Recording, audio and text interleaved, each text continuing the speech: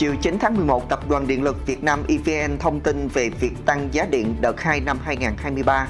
Theo đó, EVN đã có quyết định điều chỉnh giá bán lẻ điện bình quân tăng thêm 4,5% từ hôm nay 9 tháng 11.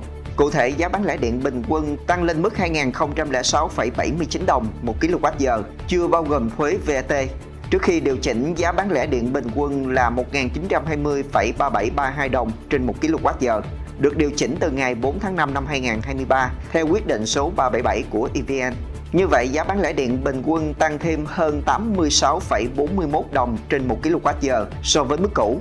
Kể từ đầu năm đến nay, EVN hai lần điều chỉnh giá điện và thực hiện trong thẩm quyền mà EVN được phép với mức tăng 3% và 4,5%.